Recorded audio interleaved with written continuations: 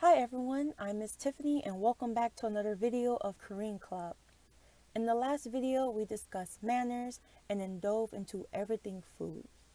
We learned how to say certain fruits and foods in Korean and explored table etiquettes, as well as how to express hunger and giving thanks for your food. On top of that, we learned the delivery culture of Korea. So in this video, this will be like a continuation, except we're doing something a little different here.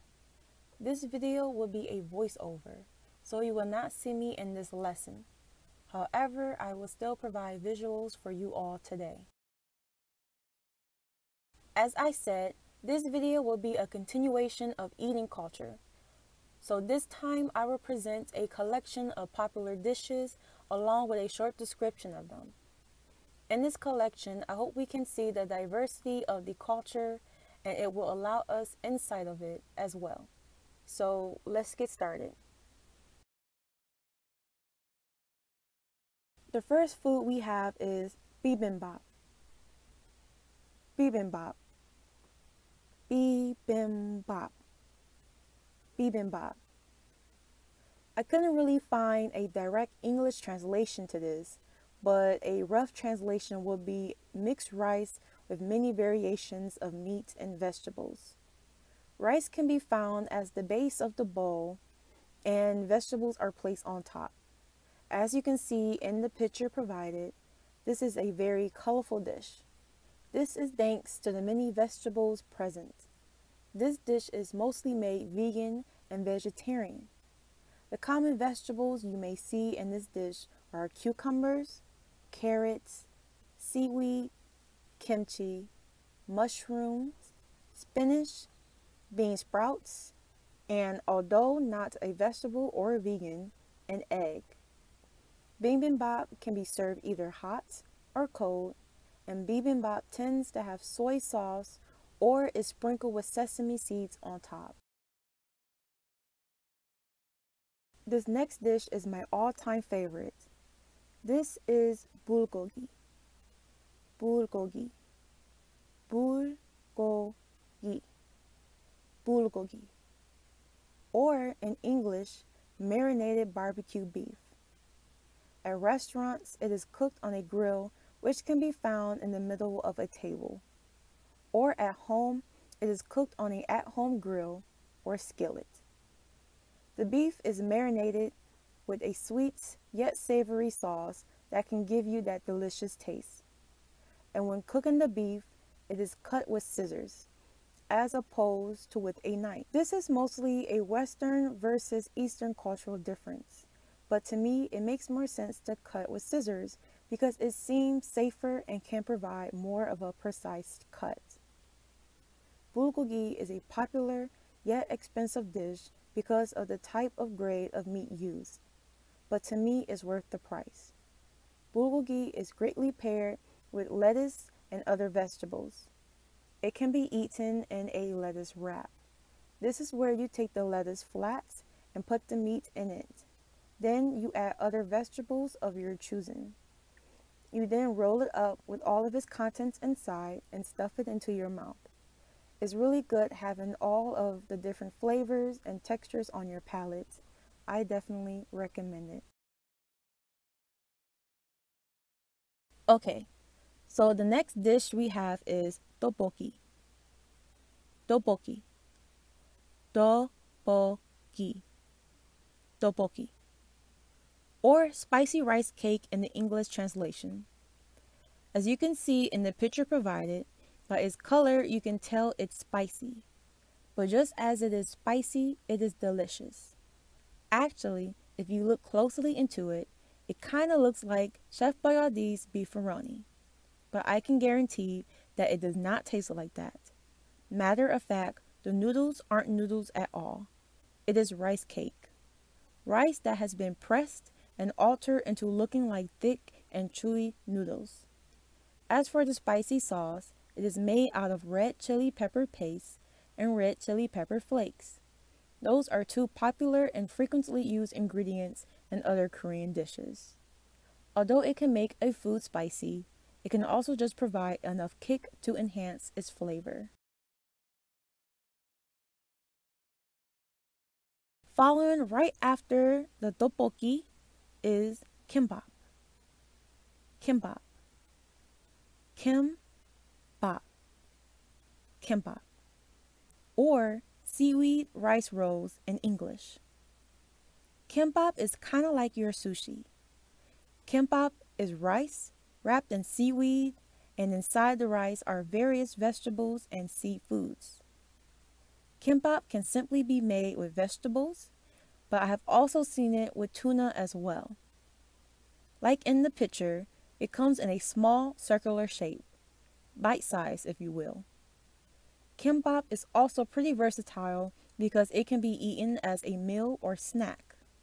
When eaten as a meal, you can see it being paired with many side dishes. Or when eaten as a snack, they can be eaten by itself, especially when you get it from a convenience store. When sold in a convenience store, you might find it in the shape of a triangle. As it is in a triangle shape, it becomes easy on the go eating.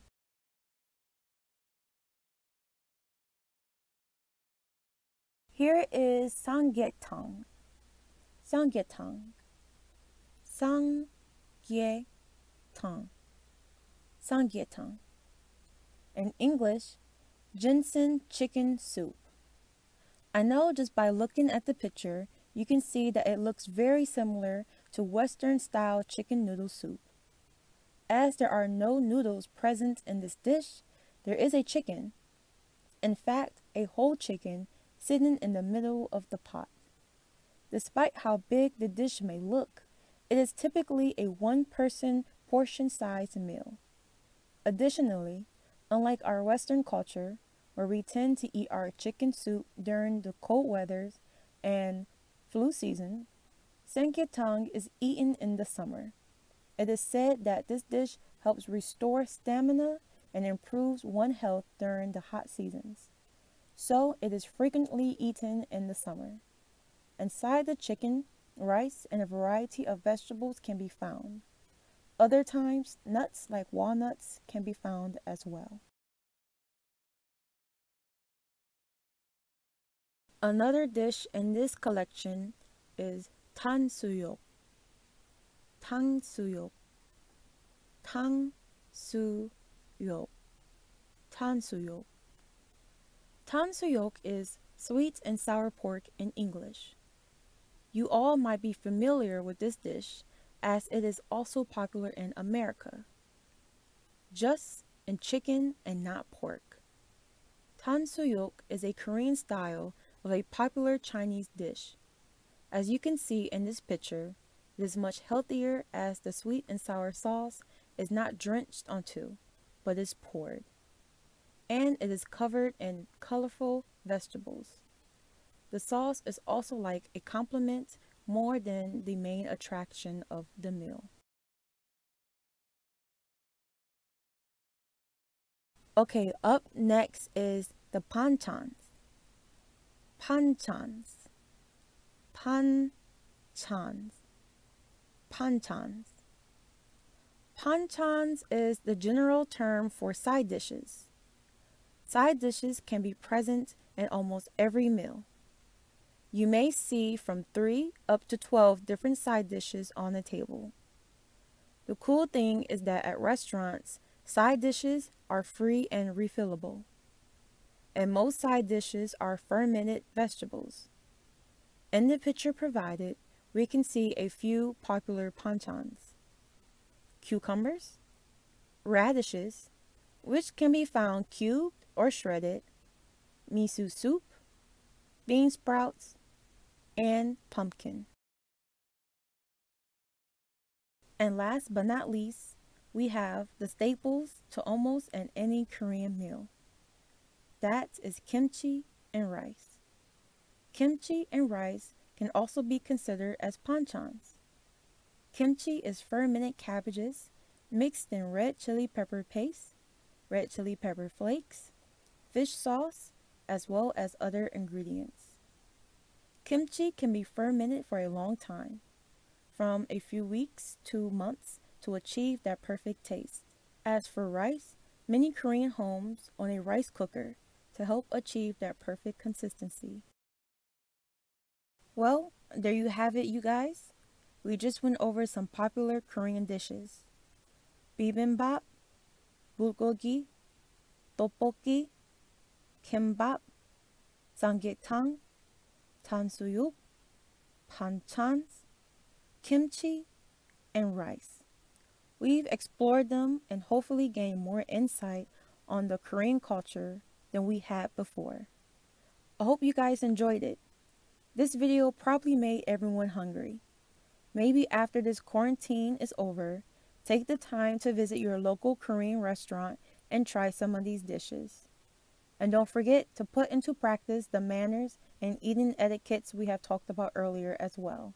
Until next time, jal gayo.